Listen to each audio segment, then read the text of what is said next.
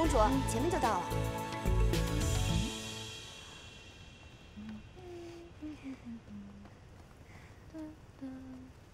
这位官爷，烦请进去通报一声，就说洛王殿下的朋友听闻洛王殿下身体抱恙，兰昭公主前来探望。公主殿下，恕奴才眼拙，小的马上进去通报。公主，咱们还是低调行事的好。怕什么？本公主行事光明正大。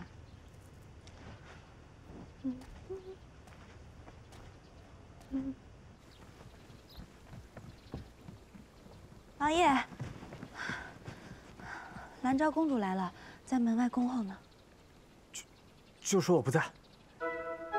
可是王爷刚早上说身体抱恙，这能怎么躲呀？总不能说你一大早好了就出去了吧？让王爷发话了啊！说不见就是不见，管他什么公主不公主，快去，回来快！哎，算了，时光礼数，还是见吧。No。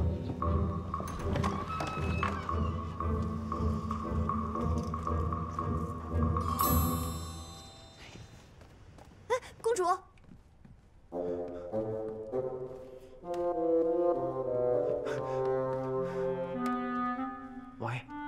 你你怎么了？闭嘴！闭闭嘴！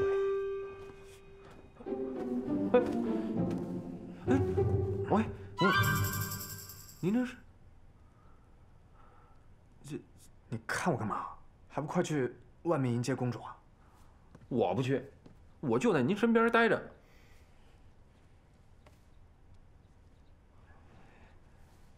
哎，来了吗？哎，来来来来来来。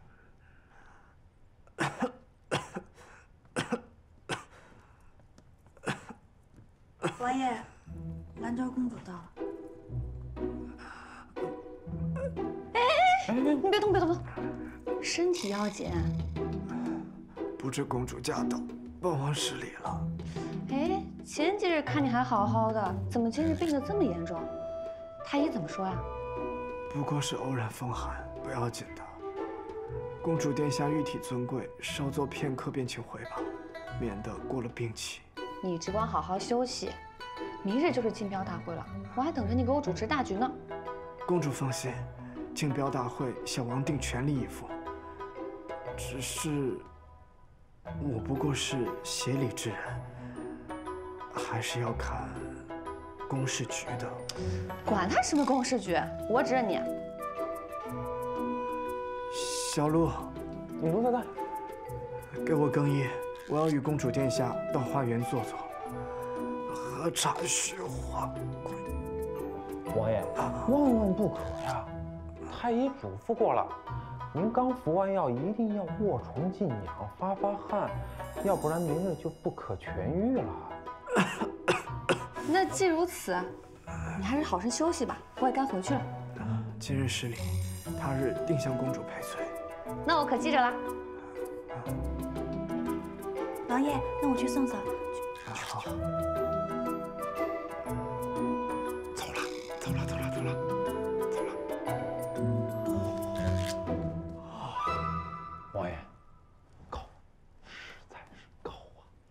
你还笑啊？